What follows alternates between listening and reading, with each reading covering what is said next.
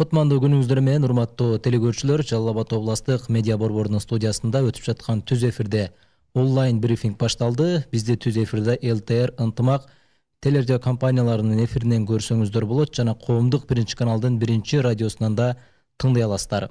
Ошондой эле жалал абад областтык медиа борборунун жа медиа ютуб каналыбыздан дагы түз эфирде көрө аласыздар. Онлайн брифингде өзгөчө абал учурунда сутка ичинде кандай окуялар катталгандыгы боюнча маалымат берүү жана жалал абаддагы жалпыга маалымдоо каражаттарынын өкүлдөрү жана жарандардан келген суроолорго жооп берүү үчүн жалал абад облусунун сузак району жана жалал абад шаары боюнча комендант милициянын полковниги жоробеков жеңишбек мамаюнусович келип отурат саламатсызбы урматтуу жеңишбек мамаюнусович? Саламатсыздарбы. Алгач сутка ичинде абал кандай болду коменданттык сааттын эрежелерин бузгандар туурасында маалыматтарга токтоло кетсеңиз. Урматтуу мекендештер өткөн бир сутканын ичинде жалпысынан жалал абад облусунун аймагында жыйырма эки кылмыш окуя катталды. Анын ичинен жыйырма бири өздүгү менен катталган кылмыш окуялардын арасында оор жана өзгөчө оор кылмыштар катталган жок. Ошол эле мезгилде коменданттык саат эрежелерин бузган бир сутканын ичинде жалпысынан алты жаран кармалды.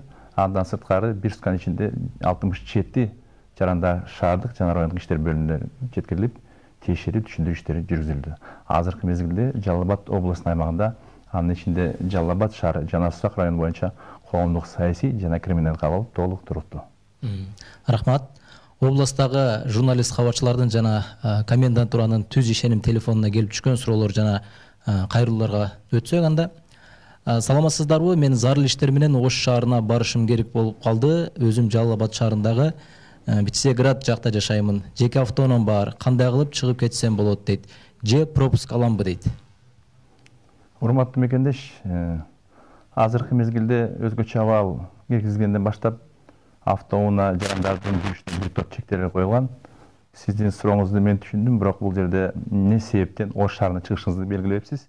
Мен ойлойм негизинен биздин жалал абад шаарынан районунан чыккан жарандар ош шаарына көбүнчө эле ооруканага медициналык тарабынан көрсөтмө менен негизинде барган себептер көп эгер ошол себептер болсо сиз тоскоолдуксуз чыга аласыз эгер андай себептерден эмес же башка жүйөлүү себептер болбосо анда мен сизге сунуштайт элем мүмкүн болушунча үйүңүздө калып эч ассалому алейкум жалпысынан жалал абад шаарында тартип жакшы элдер да көчөдө ары бери баскан азайып калды дейт. Менин сурайын дегеним э, жеңи жок менен манас көчөлөрүндө кээ бир учурларда дейт. Арак ичип алып көчөдө кыйкырып жүргөндөр бар. Болжол менен саат жыйырма үч нөл нөлдөр чамаларында чыгат. Ошону тартипке чакырып спутник ичи районун жакшылап рейд кылып койсоңуздар дейт. Сурооңузду түшүндүм. Негизинен жалал абад шаарында негизги шаардык аймактык управаларында ар бир жеринде күндүзү жана түнкүсү жыйырма бир ноль нөлдөн эртең мененки ноль алтыга чейин ал жерде кызмат өтүп атат бирок сиздин маалыматыңызды эске алайын. Мен ал жака кошумча кызматкерди жиберип көзөмөлгө аламын. Комендантка суроом бар эле э, дезинфекция иштери негедир токтоп калгандай ошону көзөмөлдөп шаардын чет жагындагы кичи райондорго да жиберип койсоңуздар болобу. Дача дейт тилек дейт. Санитардык иш чаралар шаарда этаптуу негизинде өткөрүлүп жатат. Бул боюнча биз жергиликтүү бийлик шаардын мэри райондун акимдери менен тыгыз байланышта болуп бул иштерди көзөмөлгө алып атабыз бирок сиздин сурооңузду эске алып мен дагы бир ирет бул маселени карап чыгайын. Рахмат. Ассалому алейкум урматтуу комендант. Мен милиция медицина жана карантин аймактарда кызмат өтөшүп жаткан кызматтарга болушуп кайрылып жатамын. Алардын айлыктары түшүптүр бирок башка кошумча акчаларды алышпаптыр. Эртең бул күндөр өтүп кетип алар ошол боюнча калып кетишпейби. Урматтуу мекендешим чоң рахмат. Биринчиден ушул э, жагдайды туура түшүнүп экинчиден ушул кызматтардын эмгегине баалап сарсанаа болуп ойлонуп чалып атасыз чынын айтканда биз күндөмдүк жумушта өзүбүздүн милдетибизди аткарууга көбүрөөк басым жасап бул багытты кээ бир учурларда эскеден эстен да чыгарып кетебиз бирок менин билишимче мамлекет тарабынан тиешелүү маана кошумча акча төлөмдөр толук түшүп атат бирок сиздин сурооңузду эске алып мен дагы бир ирет бул маселеге кайрылып көңүл алып көзөмөлгө алып коеюн рахмат. Саламатсыздарбы? Мен аксы району ак жол айылынан чалып жатамын. Бизге бир ай мурун бир каптан ун берилген ошол боюнча жардам болгон жок кредиттер да бар эле дүкөндөргө карыз болуп өттүк. Же жолдор ачылбайт кыйналып кеттик. Кандай жардам болот?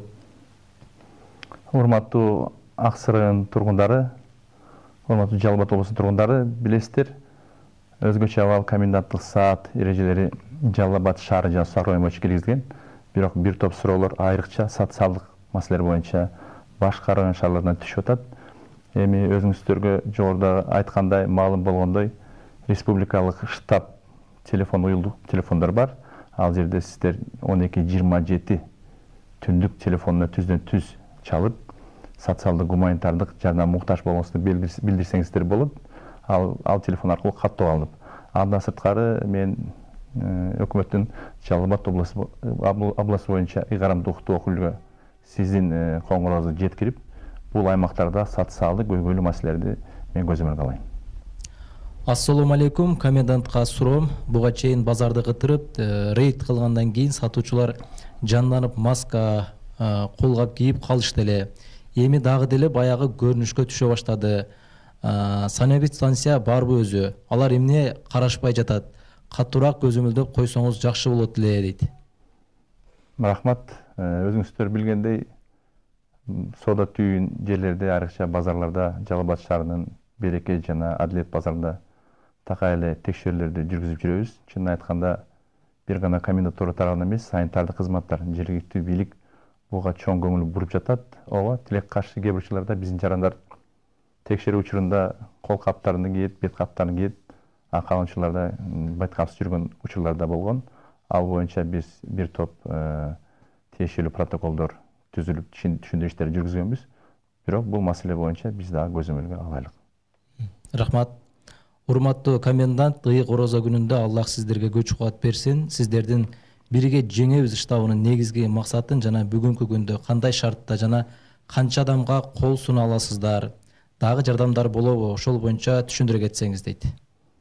Урматтуу мекендештер сиз туура белгилеп кеттиңиз негизинен бирге жеңебиз штаб бул комендатуранын астында түзүлгөн негизги максаты дагы бир ирет кайталап коеюн. Бул жалал абад шаары жана суу ак району боюнча социалдык мамлекеттик мекемелерге жардам иретинде түзүлгөн бул штабта жалпысынан жергиликтүү бийлик тарабынан ошол эле жергиликтүү жарандар тарабынан түзүлгөн штабтын мүчөлөрү бар. Ал жерде жарандардан келген ыктыярдуу жардамдарды коңгуроо аркылуу кээ бир учурларда кат түрүндө кайрылуулардын негизинде биз жарандарга түздөн түз ыкчам жеткирип бергенге аракет кылып жатабыз азыркы мезгилде жалпысынан эки миң үч жүз үй бүлөгө жардам берилди ошол эле мезгилде мен белгилеп кетейин кечээ күнү дагы бир фонддон бишкек шаарынан миң коробка тамак аш азык түлүктөр келди алар дагы кечээ кечинде жана бүгүн биздин штабтын мүчөлөрү таратып атат жалпысынан бул бирге жеңебиз деген штабтын алкагында өзүңүздөр билгендей бир топ фонд бир топ уюмдар биригишти себеби азыркы мезгилде баарыбыздын жалпы максатыбыз бир бул элге социалдык жана гуманитардык жардам берүү бул жерде иштеп чыккан усулдук баракчада телефон номерлерибиз жана бир топ шарттар бар. Бул айрыкча медицина санитардык шарттарды сактоо жана гуманитардык жардам алыш үчүн бизге байланышка чыга турган телефон уюлдук телефондор мүмкүн болушунча кайрылыңыздар бүгүнгүгө чейин бир да жаранга жок деп айткан жокпуз мүмкүн болушунча баарына жардам беребиз айрыкча азыр ыйык орозо айында жардамдын саны да көбөйдү ыктыярлуу жарандар да көбөйдү жардам берейин деп келген кайрылган биздин мекенчил жаштар мекенчил жаш ишкерлер саны көп. Мүмкүн болушунча баарыңыздарга жардам беребиз рахмат. Ыраазычылыктар да бар экен ошону дагы айта кетсек. Э, мен милиция кызматкерлерине ыраазычылык билдирейин дегем мындан бир жума мурун э, алар коменданттык саатка карабай менин аялымды төрөтканага өз учурунда жеткиргенге жардам беришти дейт. Уулумду милиция кызматкери кылам буйруса ыраазычылык дейт. Чоң рахмат бешик боңуңуздар бек болсун. Чынын айтканда ар бир кесип ардактуу демекчи айрыкча азыр ошол э, сөз актуалдуу. Себеби милиция кызматкерлер укук коргоо кызматкерлери жалпы коопсуздук сактаса ошол эле мезгилде медицина кызматкерлер биздин саламатчылыкты коомдун аманчылыгын сактоодо бир топ арбын иштери бар. Ошол эле мезгилде жашообузда ар бир кесиптин өзүнүн орду бар. Ошон үчүн урматтуу мекендешим сизге терең ыраазычылык билдирем. Буюрса эң негизгиси сиздин балаңыз. Аман эсен чоңойсун? Мекенге кызмат кылган жаштардан болсун. Ошондо мен ойлойм чоңойгондо бир жакшы кесиптин ээси болот деп. Рахмат. Рахмат. Биздин көрсөтүүбүз да соңуна чыгып атат. Ошондуктан адаттагыдай эле эркин микрофон беребиз. Кайрылууңуз болсо жолдобосоңуз болот. Урматтуу мекендештер дагы сиздерден суранамын.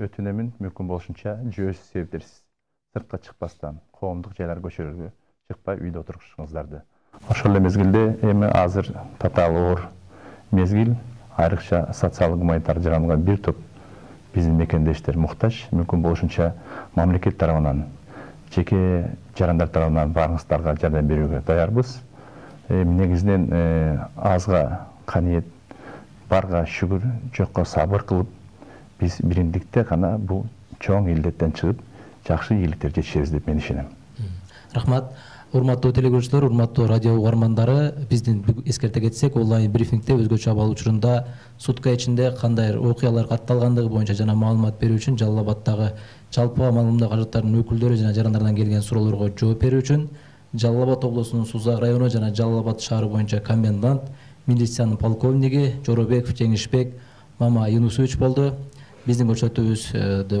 жыйынтыктайбыз эртеңки күнгө көрүшкөнчө саламатта калыңыздар